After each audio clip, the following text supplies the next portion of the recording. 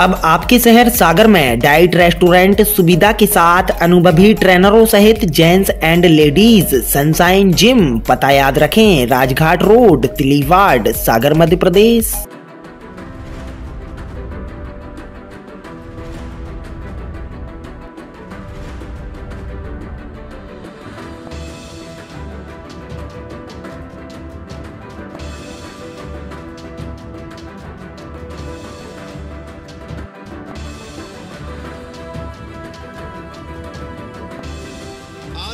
मोक्षार्थ जगत हित आत्मा के मोक्ष और जगत के हित के लिए जिन्होंने देह धारण किया है, ऐसे हमारे परम पूज्य संतगण में उनके चरणों में प्रणाम करता हूँ।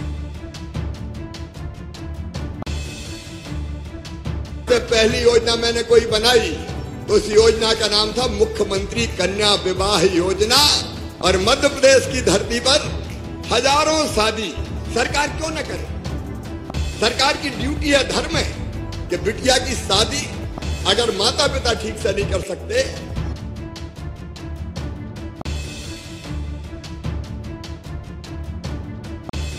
सचमुच में आज बेटियों के विवाह में आके मैं अपने आप को धन्य अनुभव कर रहा हूँ। अपनी बेटियों को, भांजियों को मैं आशीर्वाद भी देता हूँ। आशीर्वाद तो संत देंगे।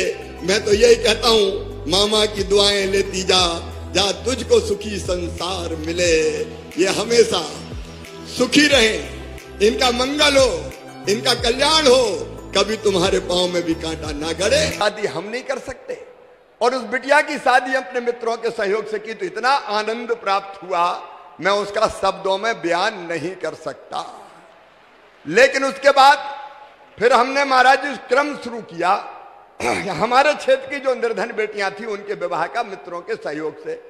और मुख्यमंत्री बनते ही महाराज जी, सबसे पहली योजना मैंने कोई बनाई तो उस योजना का नाम था मुख्यमंत्री कन्या विवाह योजना। और मध्य प्रदेश की धरती पर हज़ारों शादी, सरकार क्यों ना करे?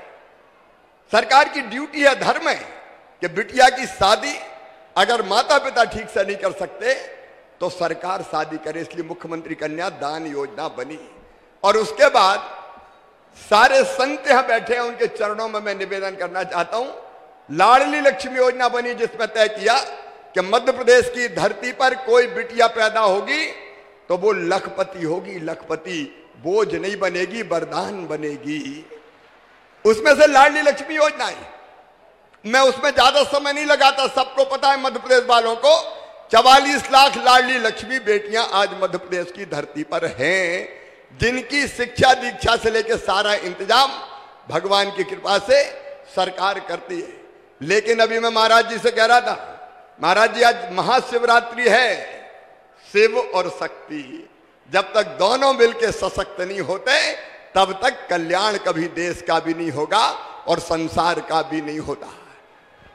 इसलिए एक भाव मेरे मन में आया कि हमारी बहनें सशक्त होनी चाहिए, क्योंकि बहनें सशक्त तो प्रदेश सशक्त प्रदेश सशक्त तो देश सशक्त। और फिर हम भी तो भैया है, जब बेटियों के मामा भय तो बहनों के भैया भय के नहीं भय? तो बहनों के भैया है। अब भैया साउन के महीना में एक दान आते हैं। बहन को लिवा के ले जाते हैं या बहन के घर आते हैं। राखी बंधवाते हैं, उपहार देते हैं। दिल ने कहा कि तू भी तो भैया है। तो तू भी तो कोई उपहार दे। लेकिन मुझे लगा कि साल में एक बार देने से काम नहीं चलेगा। और इसलिए एक योजना मैंने महाराज जी को बताई। एक योजना और बन गई, लाडली बहना योजना। अब हर गरीब बहन जो मध्य प्रदेश की निवासी है, उनके खाते में हर महीना एक हज़ार रुपया डाला जाएगा। साल में बारह हज़ार रुपया।